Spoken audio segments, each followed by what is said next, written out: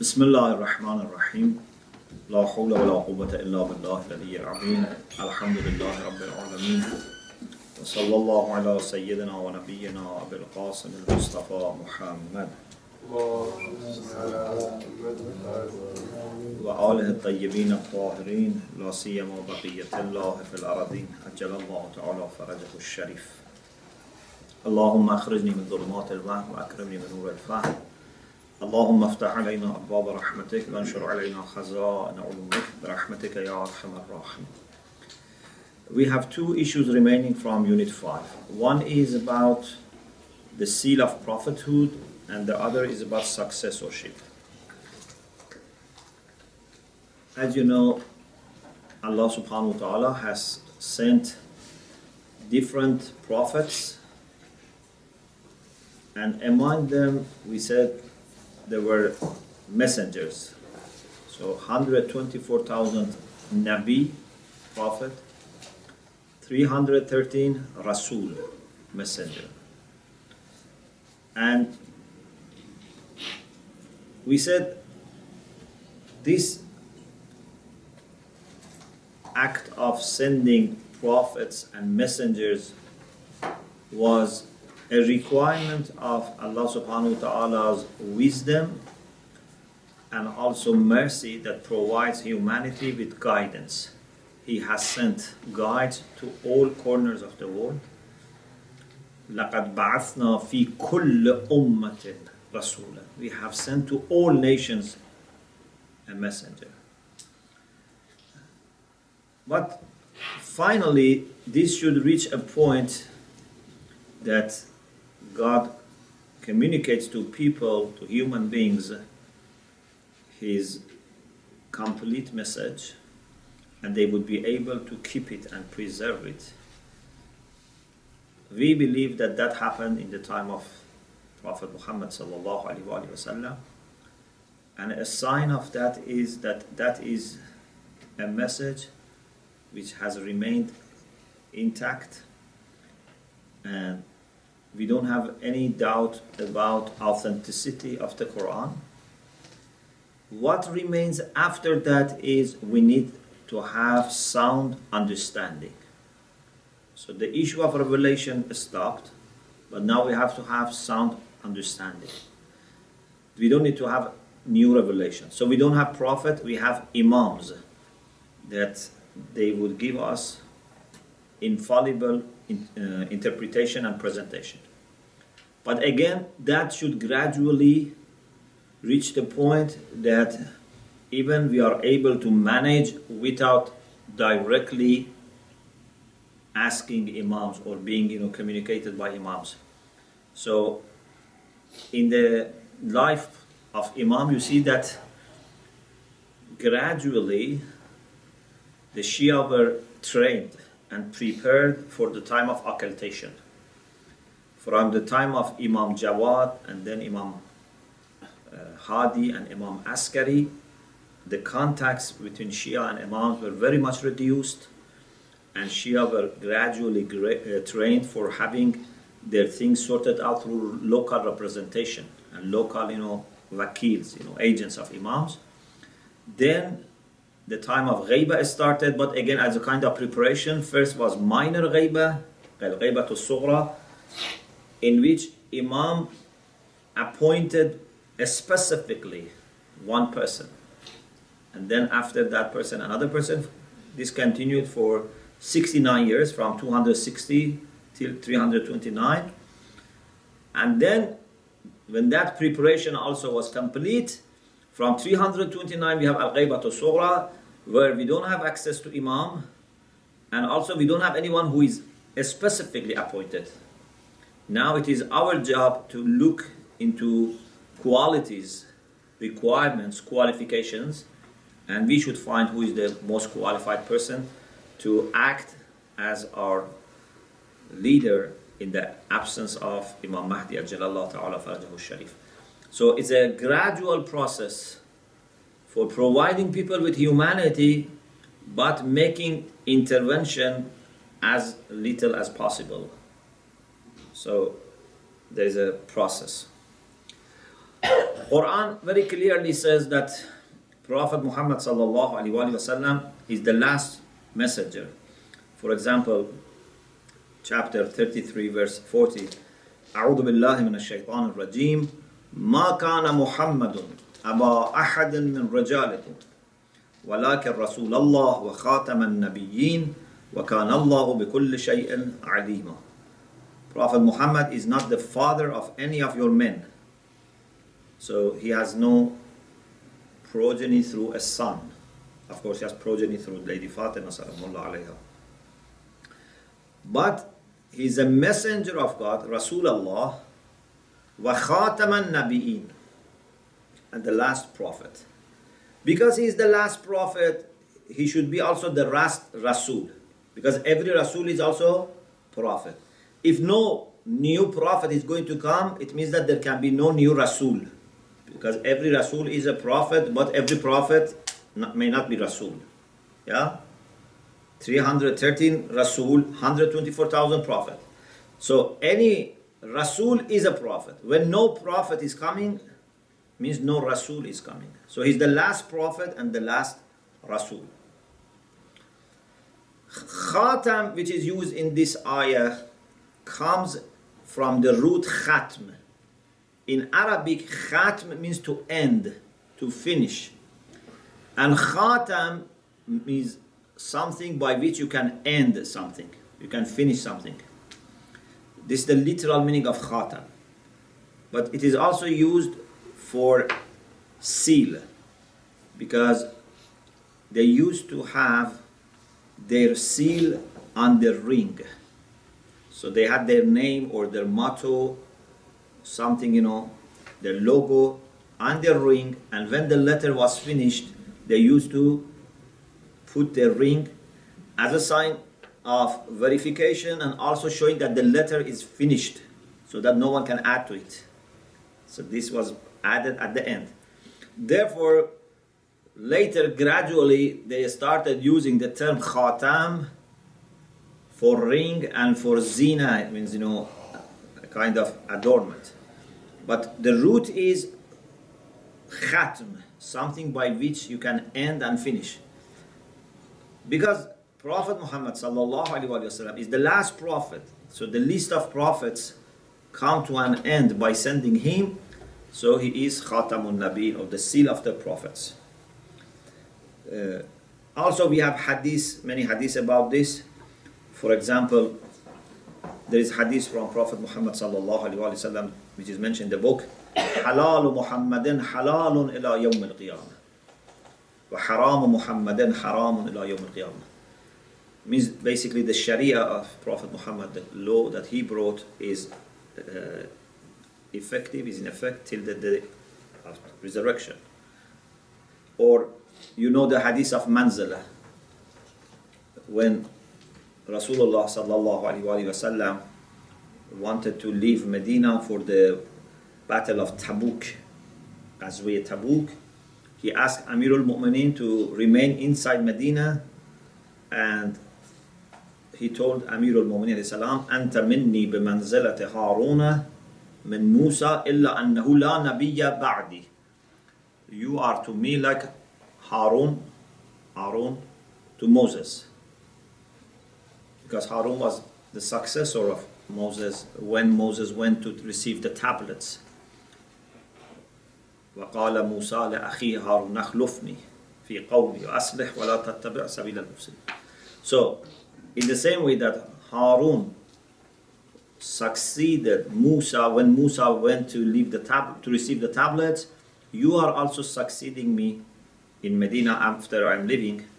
But not only this, it's a more general way of successorship. The only difference is إلا أنه لا نبي بعدي. There is not going to be a prophet after me. Because Harun was a prophet.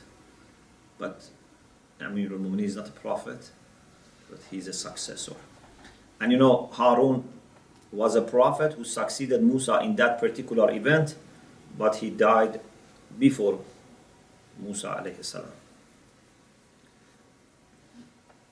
Now the question is how we can have a religion or a sharia, a code of law that would not change. Already we have had you know 14 centuries. We don't know how many more years or maybe even centuries would be between us and the day of judgment. Can there be a code of law that would not change? The answer is humanity has a, fixed nature in the sense that the same nature that we have human beings had it before and are going to have in future. Therefore our basic and fundamental needs are the same. The way we can grow morally is the same. If generosity if honesty if uh, self i don't know monitoring and self assessment all these things were good 400 years ago or 400 years ago or 4000 years ago it's always going to be the same. So the basic needs are the same. The fundamental needs are the same. Then how to address them can have two parts fixed parts and changeable parts. Islam is a religion that has a system, a legal system, in which principles are defined, but details, many details are left to people to decide. And the jurist has the job that knowing religion, consulting religion, and facing the challenges that people face, he can go back to the original sources and find the answers for new emerging questions. And one of the things that helps Islam a lot is that Islam actually has a great space for change because only the boundaries are fixed, only the principles are given, and as much as possible, the details are left to people. For example, when it comes to eating, there are few things that you not should not eat. Anything which is harmful to you, to your health, you should not eat. Anything that you don't own, it's owned by someone else, you shouldn't eat. Then also, for example, wine, alcohol, I don't know, pig, uh, meat which is not slaughtered properly Islamically. There are few items that you have to avoid all the rulings of Islam about eating and drinking are very limited. Then you have big space for deciding what to eat, how to eat, how to cook, what taste, what recipe. It's up to you. What time. Or, for example, for dressing, you have to observe modesty, you have to observe few requirements about, for example, material. For example, for men, they shouldn't, you know, wear gold or silk. There are few items that you have to observe, but then you have thousands of way of, you know, making your dress. Color, design, many differences can be there.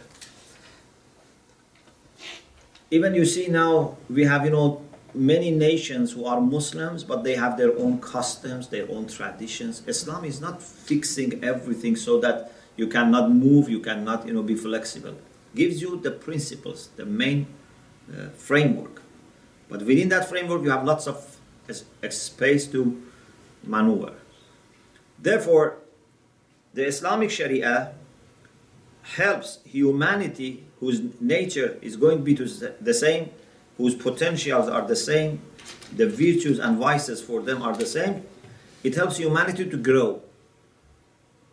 And this is going to remain as principles, but there are details that can change. And we have also the mechanism of ijtihad when a very well trained scholar who is also known to be pious who is aware of the situation in the world, he can tell us how to apply those general principles into these varying, you know, details and cases. The next issue is successorship to the Prophet Muhammad. In the book Islamic Belief System, we deliberately decided not to discuss the issue of imama because imama is something that Muslims may disagree, and we wanted Islamic belief system to be for all Muslims. For imama, we have another book, an independent book. So here we don't talk about the idea of imama. Just we raise the question that after the demise of the Prophet Muhammad sallallahu alaihi wasallam, two main views were developed. Of course, these views existed even before the demise of the Prophet, but the time they came to the public attention were after the demise of the Prophet. One was the idea of Shia, and one was the idea of non Shia. The Shia had the idea that Imamah or successorship to the Prophet is a divinely appointed position. In the same way that people do not vote or select, you know, the prophets, Allahu that God knows where to put his mission. Imama is also a divinely appointed position and God decides about it.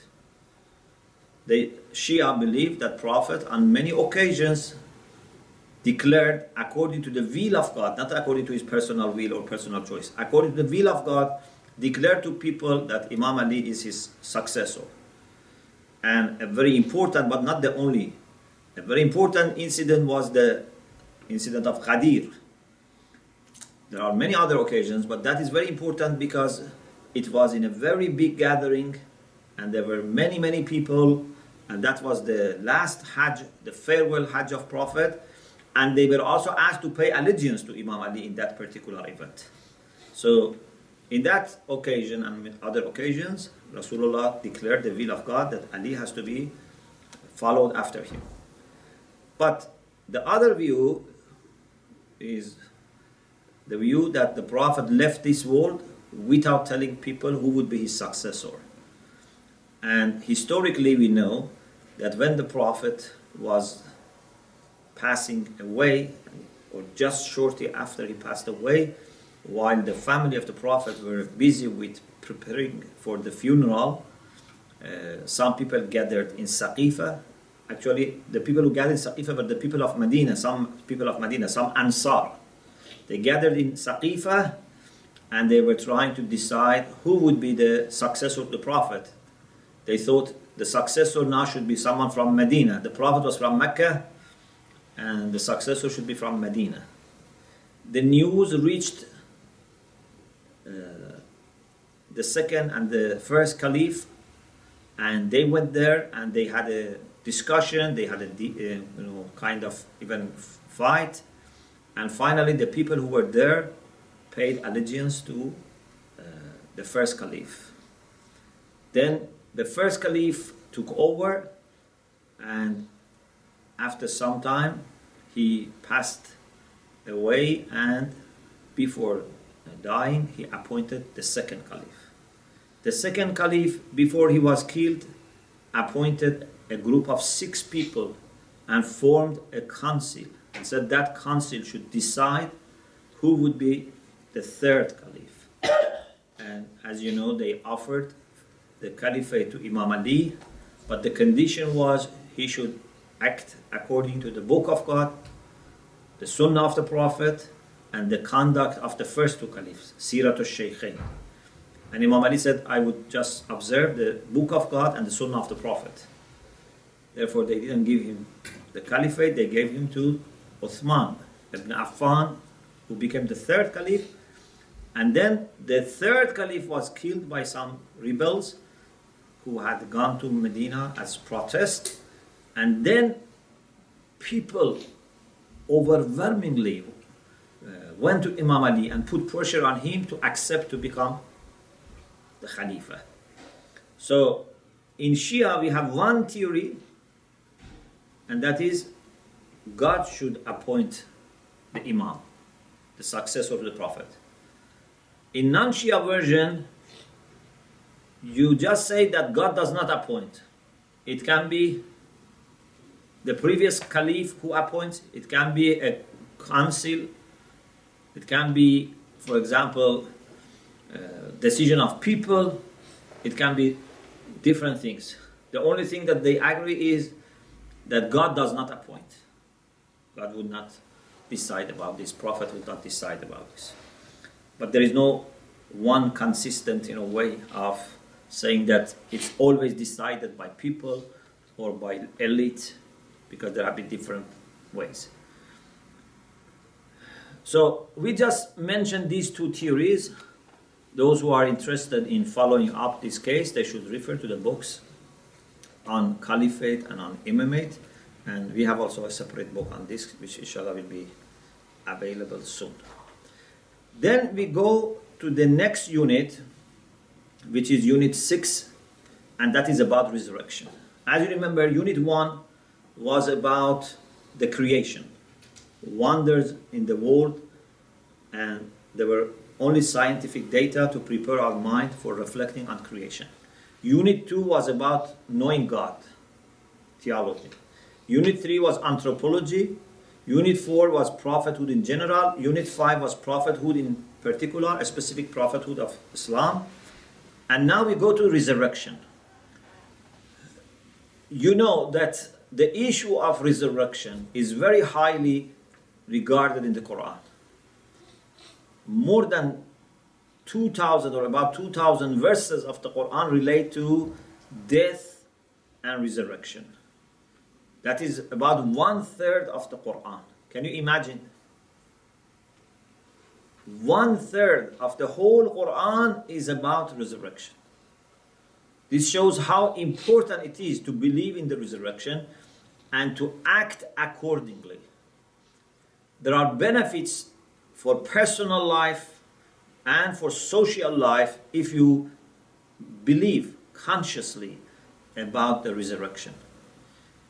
For example, if a person believes in the resurrection, in the fact that life is limited, but based on what you do in this limited life, you are going to define your eternal life, then you become very, very careful about every little part of your life.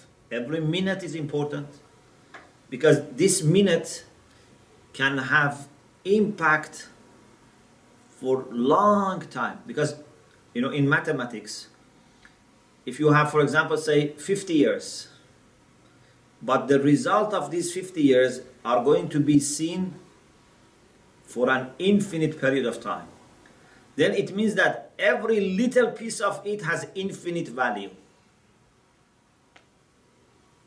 Is it clear? If you have, for example, 50 things and you want to divide it into infinite number of people, so each has to be divided to infinite number. Every second of our life is so important that it can change us forever. So we have to appreciate and we have to make sure that we don't waste it or na'uzubillah, we don't use it against our happiness. You know, when you want to have a journey, based on the duration of journey, you decide how much provision you need. If you are going to travel to a near place which will take only half an hour, and you are going to be there, you know, for a few hours, then you need a little journey. If you are going to a far place and you are going to be there for a long time, you need more.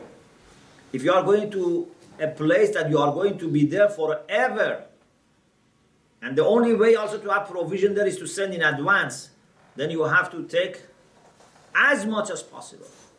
And even if you take as much as possible, it will not be enough because you want to live there eternally. You need the blessing of Allah to multiply your reward. So every minute, every second of our life has to be used in the best possible way. Therefore, if you believe in the resurrection, if you think about your death, if you think that you have limited opportunity, then you will try to appreciate it and use it in the best possible way.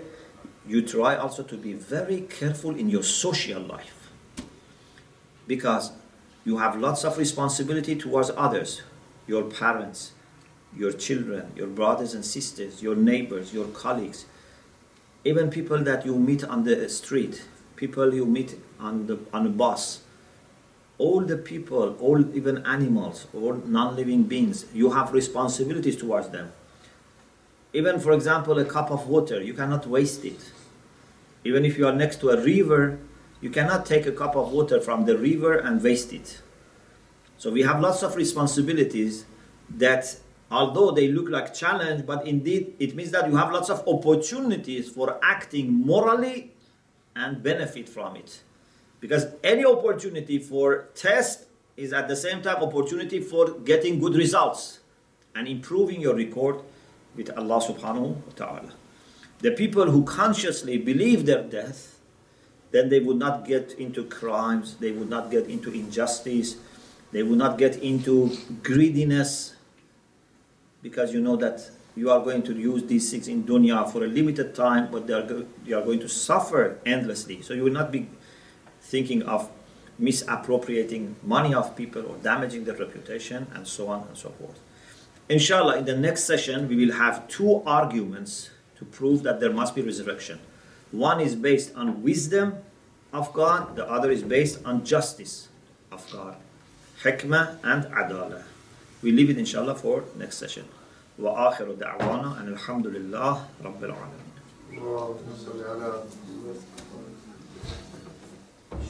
Chef, uh, there's this art school about these people.